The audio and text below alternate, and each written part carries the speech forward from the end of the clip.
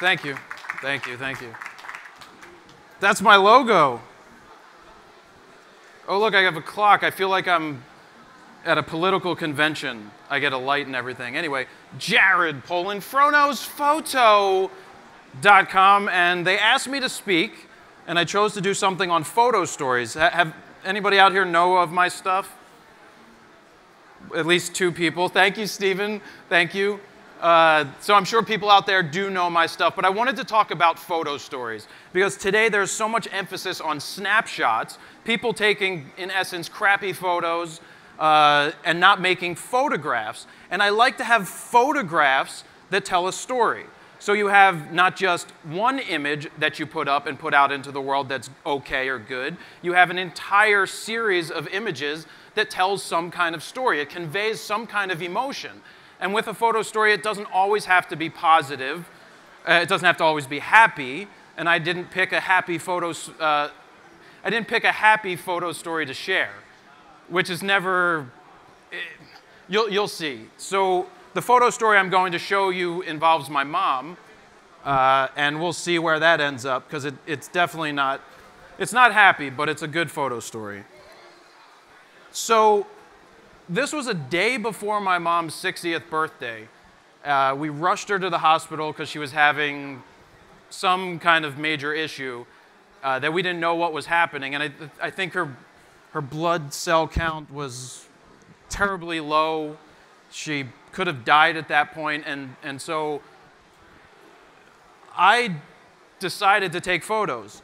Um, the nurses told me no because of HIPAA. I said, bleep HIPAA and shot anyway. What are you going to do? Arrest me? I mean, I, am here to take photos. This is what I do. I take photos. It was honestly my way of hiding behind the emotion. My way to deal with it was to photograph it, but we didn't know what was going on at this point. We didn't know what was wrong. So I just was taking photos. Um, my dad's there. And this was 2000 and, yeah, it had to be 2007 or 2008. And I'm just, I'm just telling a story. Whether it's black and white, whether it's color, it doesn't matter. It's what goes together from start to finish. And we move through and you get different angles. Because to me, what a photo story is about, it's about capturing not just the wides. You need, you need your wides, you need your mediums, you need your tight shots, you need your details. Put them all together and you get an amazing story to tell. So if anybody's an amateur out there listening or you're just getting started, just Think about that. Think about covering those angles. You get the wide shots. They establish the scene like we did in the very first shot. It's establishing the area. We're in an, an ER, which sucks, but we're there. Uh, you get a wider thing. You have the, you've got so much going on in an image. So no matter what the photo story is, those are the shots. And you come in a little tighter. I mean, the, the emotions in these images, they're, they're immense. I don't look at these too often, but every, they're, they're on my website. Um, and it's just, yeah, I mean, it's an emotional, it's an emotional photo story. So basically, what happened is at the end of this night, they, they had one of their specialists come in and they said, We think uh, that you have a certain kind of cancer. They haven't typed anything yet, but then they were like, We can probably treat it. So they tell you that, but they don't really know for good. Uh, and they wanted her to go in. She stayed in the hospital, and it was, I believe she, you know, just different emotions. She's talking to people, she's happy. My mom was always, always happy, always excited, always caring. Her friends, unfortunately, her friends, each one of these people lost a family member to, to cancer. And um, yeah. So telling the photo story here, I mean, it's emotional. Is this emotional? You guys, do you feel any emotion coming out of this? Do you people at home, and by you people, I mean whichever camera's on me right now, there's emotion here and it's, it, it's just, that's what the images are supposed to do. If your images don't elicit a response or any kind of emotion, you're, you're just taking snapshots. And there's a huge difference between snapshots and photographs. Photographs just, they have emotion. You feel it. Like you go through your Flickr, uh, your, your, your Instagram, or you go through Facebook, and you go picture after picture after picture, and then you stop at one, You stop at one because it elicits some kind of emotional response in you. And those are the differences between the snapshots that are just blah that a lot of people put into the world and, and the photographs that make you stop. And just imagine what happens when you take a bunch of quality and solid images and you put it into a story people feel like they're there, especially if you have your kids and they're playing soccer and you're getting photos of them tying their cleats and then they go out and they play. They're in the car, they're with their friends, they're playing, and you tell this photo story, it's going to look fantastic. And then if you want to become a photographer and sell these things, these photo stories sell themselves. You can shoot for your kids, you can do weddings, it's all about that. But 60th birthday in the hospital sucks but you can see all the details in the images. We brought other photos to hang on the wall. The family was there. We had to make sure that the oxygen wasn't on in the room so we didn't blow it up. But grandma, my, my mom's mom, Lil, just telling these stories. My brother with uh, my sister in law, just capturing moments that are there. And I, and I do come back to, I hid away behind my camera here. This was the one way that I could deal with it was to take photographs and just, just tell the story. Mom and dad, sister-in-law and mom. And then the first day of chemo, went and photographed that. That wasn't easy. They're pumping you full of something that you can't even touch. That's the, that's the, that's the insane thing about people that are on chemo. You, you go, they put gloves on, you're not allowed to touch the stuff in the bag, and they're putting that into your body. It makes you think it's okay to go in your body, but you can't touch it. It's just, it, it's insane. So, this is one of those detail shots, talks about the story. And then the day after her first round of chemo, my mom and dad and grandma were going to a bat mitzvah for a family member, so I'm there just telling this story, capturing her doing the hair of my grandmother. And this is just, I, I, I, lo- I love photo stories. As you can tell, I just, I, lo- I love doing them. Not, not something like this, not something like this, but just capturing the different stories and what's going on. And then we fast forward. So my mom, for a while, the, the chemo was working, and then the, then the disease, she has had non-Hodgkin's lymphoma of the T cells which was a, there's two forms. There's B cells and there's T cells. The T cells you die with within two years, basically. 90% were dead in two years. And non-Hodgkin's lymphoma, the B cells is something that you live with. You don't die from, you die with. And unfortunately, she pulled the, the short straw and got the other one. So she was healthy for a while, like not, not healthy, not recovered, but the drugs were working and then they morphed. And I stopped taking photos for that time because I felt like she, she was going to get through it. Like this was something that was going to be okay. Um, and then the further that we went on, it, it, it started to not look good. And they tell you when, when a disease morphs, when the cancer morphs, it's going to continue to morph no matter what you do to it. And that's, that's what happened here. So I just, I just felt I had to tell the story. And this was when it started, uh, it started to get worse sleeping a lot. She coughed all night, every night. My room was next door to this, so I heard it all the time. Um, but they're, they're, you know, it, it, emo- you guys feel, do you feel this? Not that I can see much, but you, you feel what's going on. It, it touches us all. We've all been there. It, it's more prevalent cancer today because uh, everybody knows somebody who has it. But you understand that stories, photo stories, don't, they're not just positive things. I mean, this hopefully helps somebody. It, it, it brings the emotions back. You can't hide the emotions away forever. You have to acknowledge them, you have to face them, and you, and you just have to go from there. Um, so I would just wake up, I would go take photos, whatever, whatever I felt I could hide away with. I, see, I, I hid away my emotions during this time. My brother had my sister in law, so he had his wife. I had to be strong for my dad, is what I felt like. So it was pretty much hard for me to show emotion because I, I felt I needed to hide away and be strong for my dad. Uh, so, so I hid behind the camera and I, and I just shot. This is just late night. And then these become the worst. This, this was basically two weeks before, before she died. she just couldn't get warm. So she was sitting there in the kitchen and she, she asked me not to take photos. So I stopped and then she called me back and said, It's okay, I understand. So I kept, I kept shooting. Um, it, it's, it's tough to talk about you know, photo terms and, and stuff like that when you're, when you're looking at these. It just it brings it all back. But if you want to look at uh, photo aspects of, of these type of photo stories, it's the details that matter. It's the drugs on the left-hand side of the frame, her tea because she couldn't get warm. We're filling the frame on the right with whatever notes she had. And then the kitchen is whatever the kitchen was at the time. And the pictures on the refrigerator, they're actually still there. We're, we're many years past, but they're, they're still on the fridge. You know, it's, it's just so many pictures and, and stuff inside of pictures, and this just exudes so much emotion. Same thing, you know, the difference, a lot of people ask, what's the difference? How do you decide color or black and white? And that's just a feeling you get when you shoot or when you edit. I mean, you shoot and you don't know what you get all the time when you're photographing. Sometimes you go, this image would look great in black and white, but you don't know it until you sit there and you process it, and it then comes down to emotion.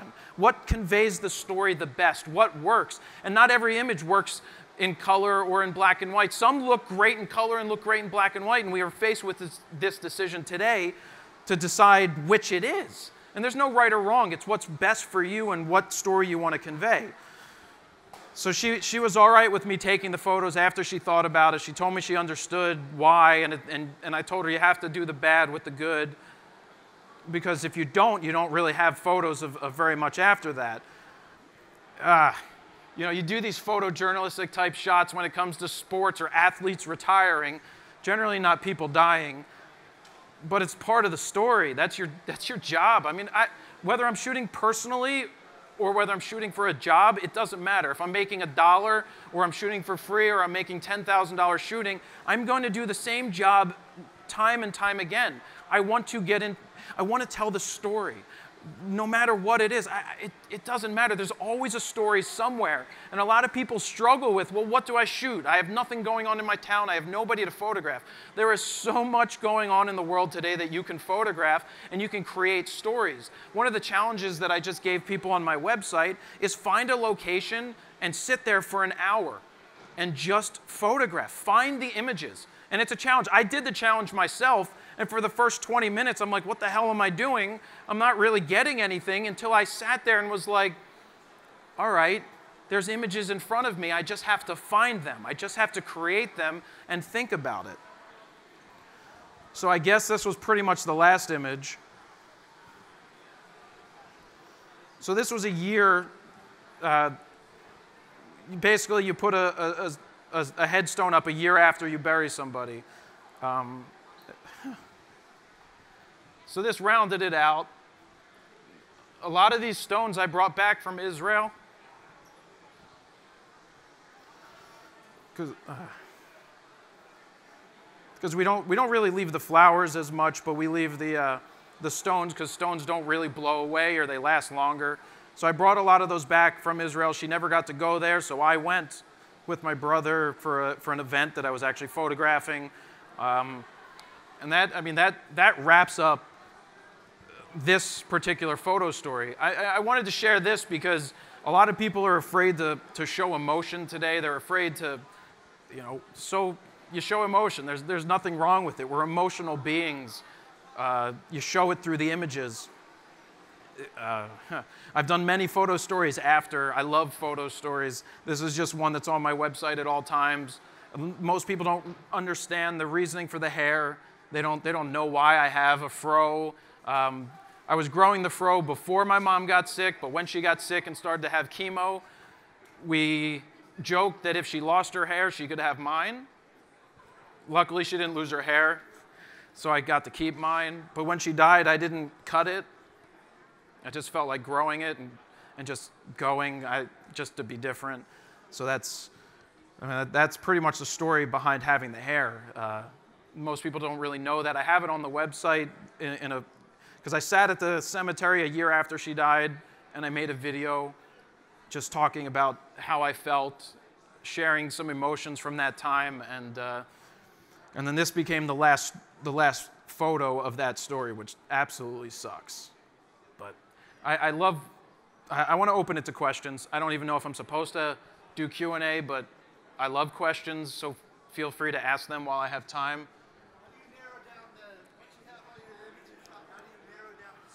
So the question is, how do I narrow down the images when I, when I, how do you narrow them down? So that's you, you. Sometimes you have to get rid of the images that you may like because they don't fit into the story. Um, it, it, it all, uh, what I do is I sit there and I like to do chronological stories. I like images to go in the order that they were taken because I just feel like that's right. If you're doing a wedding, the images progress throughout the day. In this case, it progressed over the months. Um, it just becomes a feel. Does this image work well here? Does this image fit the story? Like, is it a, is it a photo of, that, that just totally has no place? And if it has no place, it could be the best photo that you have, but if it doesn't fit in the story, you sometimes just have to take it out. Yeah. Yes? Uh, do you find that it's easier to capture the emotion that you talked about so much in a happier situation or a darker situation? Do I find it easier to capture the emotion in a happy situation versus a dark situation? To pull out the. So the question is basically is it, e- is it easier to pull out in a situation? I think you can pull emotion out in any situation. You just have to find it. You can pull an emotion, emotion out of an inanimate object.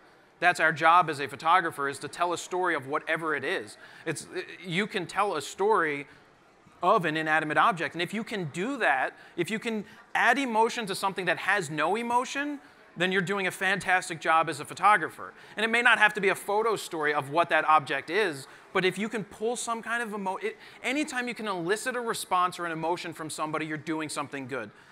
If they're not just sitting there clicking through and going, eh, eh, eh, but when they stop and they question it, then you've done something right. Next. Throw them out. Let's go. Keep them coming.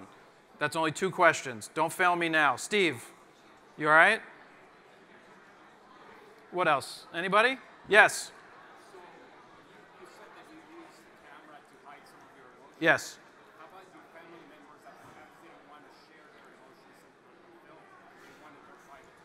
So the question is um, I use the camera to hide my emotions. What about my family members? Were they, in, I'll paraphrase, in essence, okay with me shooting them? I'm a big proponent of just saying, Simon, can I curse on this? screw it. I'm a big fan of saying, screw it, just do it, uh, and apologize later. It's easier to ask for uh, forgiveness than it is to ask for permission. That's, you just have certain, like when I was shooting in the, in the, in the hospital and HIPAA, not HIPAA, the nurses are like, you can't do this, you can't do this. I'm like, I'm going to do this. HIPAA says you can't. Well, this is my mom.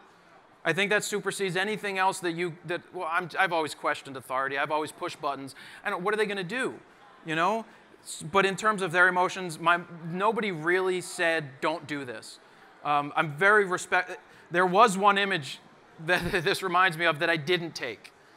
She was in hospice for two days before she passed away.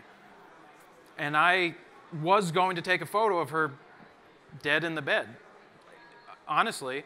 Um, but I didn't. It's in my mind. I didn't do it because I thought people wouldn't understand. They wouldn't get it. So I didn't do it. Uh, but it's, it's here. Uh, it's always going to be there. So certain times, I guess, you just don't shoot. And that was, that was one of the times. I, I don't regret not doing it. As a photographer, as part of a photo story, this was my compromise was, was, the, was the gravestone because there's nothing that puts an ending on a story like that. So, what else? Yes?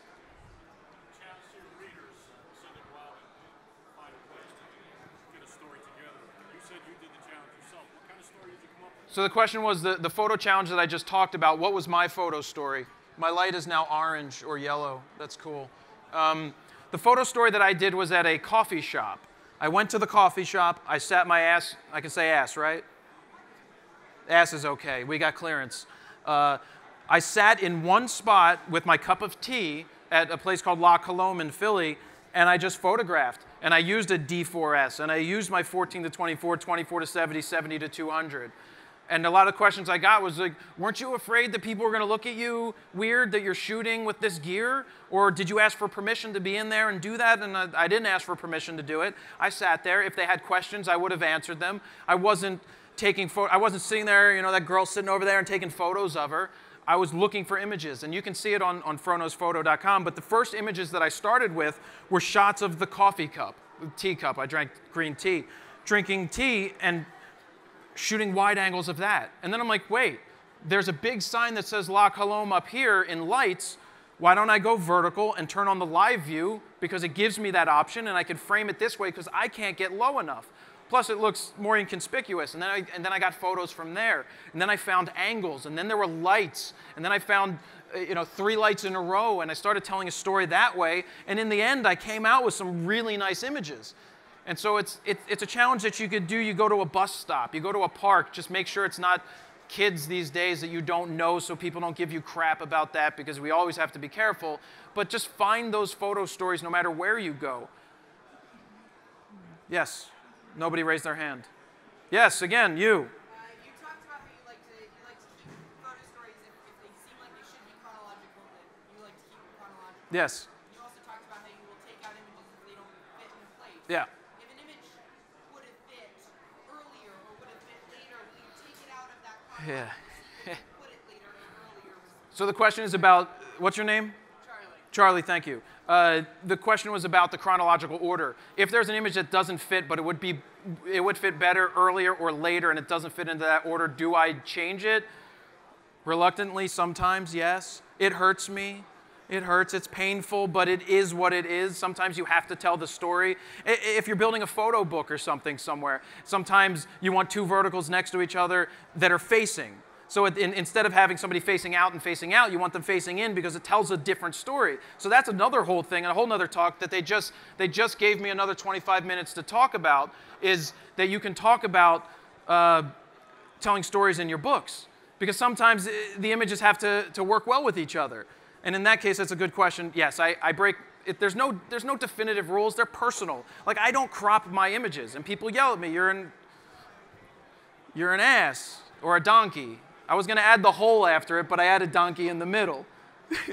you know, so, but it's just, they're personal things, and in your personal work, you can do whatever you want. And, and another thing is, will, will I crop when it came to shooting weddings and putting stuff in an album?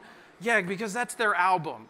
That doesn't, that's what makes their story better. But that's just to fit that square. And that's for a client. That's totally different. You have to get rid of certain morals and, well, not morals, but I've got another minute and 20 some seconds plus 24 that they're giving me extra. What else? What is the what? What is the best smelling camera box is the question. I don't know. I just got handed a DxO1 back there after, after they were afraid to send it to me because they think I'm going to rip on it.